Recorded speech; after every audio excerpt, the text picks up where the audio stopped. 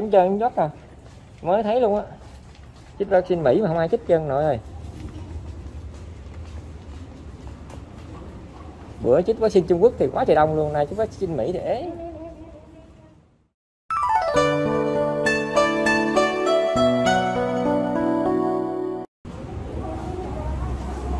Ăn coi nè. Vaccine Mỹ nè, Pfizer nè. Đâu rồi? Nè mRN vaccine nè. Mỹ nè nha. Cominati nè.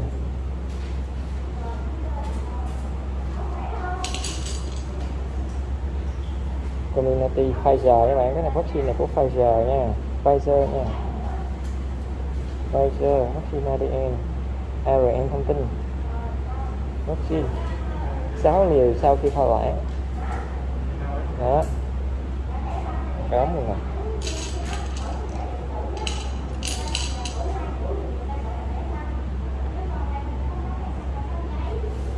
này à, hết hạn là tháng 12 năm ngày 2021 nha. Comi, Comirnaty Comirnaty à, bạn thấy không? Chích vaccine Mỹ mà ế. Má ơi. Không nói chưa nói chứ sáng giờ mình chích cũng được um, hồi sáng mình chích 96 liều vaccine của Mỹ. Chiều này là 96 liều nữa nhưng mà nãy giờ chắc chính chích được khoảng um, 46 còn khoảng 50 liều nữa. Tại biết sao tại mấy lần trước là mình chích uh, vaccine Trung Quốc chích hai ba tuần vaccine Trung Quốc. Cho nên là dân ta chưa biết á sáng nay cũng thông báo rồi. Thì cái đợt sáng là mình dự định chích có 96 liều thôi. 96 liều vaccine của Mỹ là chích hết rồi nhưng mà tại vì người ta tới đông quá rồi sau đó mình lấy thêm 96 liều nữa. Ờ, à, 96 liều nữa cho nên là buổi chiều người ta không biết đó người ta chưa tới. Nhưng mà à, bây giờ mình đang liên hệ đang liên hệ để um, à, gọi người dân đến tơ, đến tiêm thì đa số là là tiêm uh, cho người lớn tuổi nha bạn.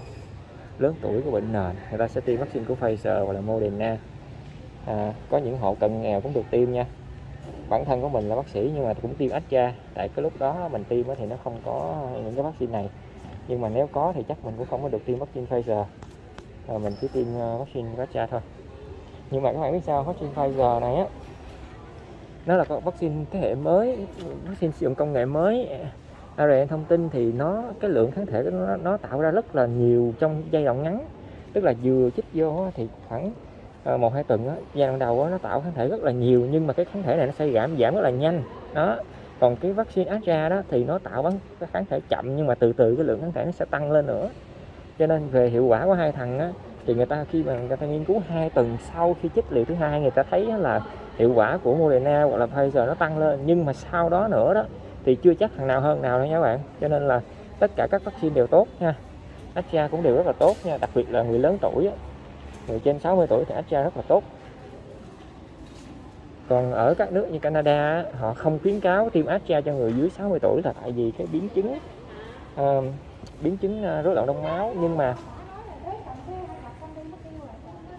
nhưng mà biến chứng của vaccine á, thì vaccine nào cũng có biến chứng tỷ lệ rất là thấp. Nhưng mà tại vì bây giờ cái thời giờ á, là thời covid mà tất cả mọi báo chí đều đưa tin có cái gì tin nhỏ xíu người ta đều đưa cho nên người ta sợ vì thế cho nên là Canada người ta mới khuyến cáo là không tiêm cho người nhỏ hơn 60 tuổi AstraZeneca. Chỉ cho nhân tiêm cho người trên 60 tuổi thì người ta tiêm Astra thôi. Còn um, bên mình thì uh, vaccine thì rất là thiếu ha có Astra chích là cũng mừng rồi. Nhưng mà AstraZeneca cũng rất là tốt nha bạn. Các bạn chích vaccine uh, bình thường cho con các bạn đó. Vaccine 6 trong một rồi vaccine uh, H, um, uh, gì viêm phổi phế cầu rồi vaccine viêm màng não đó thì đều sử dụng công nghệ truyền thống hết chứ không có sử dụng công nghệ ờ, ARN thông tin như cái này đâu ha. Mà nó vẫn rất là hiệu quả nha các bạn. Còn vaccine Trung Quốc á, thì ờ, người ta thấy nó cũng có hiệu quả ở những người trẻ đặc biệt là những người trẻ thì chích vaccine Trung Quốc. Và nó có hiệu quả.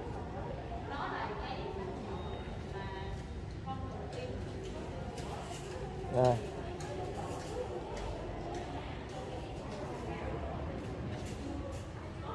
khoảng cách giữa các liều thì à, khoảng cách giữa hai liều Astra là à, theo nhà sản xuất đó là từ 4 đến 12 tuần là mình có thể tiêm được rồi nhưng mà hiện tại là vaccine của mình mình đó, nó đang thiếu cho nên là à, Bộ Y tế đang khuyến cáo là từ 8 đến 12 tuần thì trong thời gian tới nếu mà vaccine nhiều thì có thể là giảm xuống.